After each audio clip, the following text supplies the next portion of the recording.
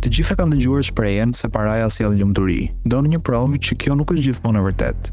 Kjo është historia e William Post i treti, i njohur si Bud, një burrë i cili fitoi jackpotin e lotarisë së Pennsylvanias, rreth gjashtëmbëdhjetë milionë dollarë në lotari. Por e hodhi në erë çmimin dhe gjithë jetën e tij brenda disa muajsh nga kjo fitore.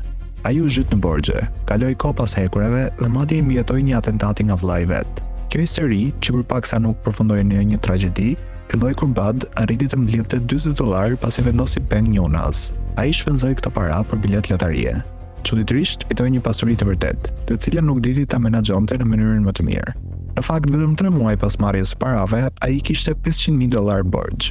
Si të mos mjaftonte kjo, ai zbuloi se vëllai i tij, kishte punësuar një vrasës me pagesë, për të vrarë atë dhe gruan, në një përpjekje për të trashëguar paratë e fituara. Atentati kundër tij u krye, por Bud arriti të mbijetonte.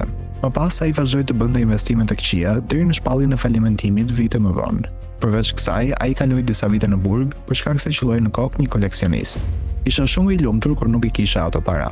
Të gjithë ëndërrojnë të fitojnë para, por askush nuk i kupton makthat që lindin. tha ai në një intervistë për The Washington Post. Edhe pse llogaria e tij bankare ishte në të kuqe, ai mbijetoi pjesën tjetër të jetës së tij me pagesa sociale për aftësi të kufizuar. Bud vdiq nga problemet me frymëmarrjen në moshën gjashtëdhjetë e gjashtë vjeçare.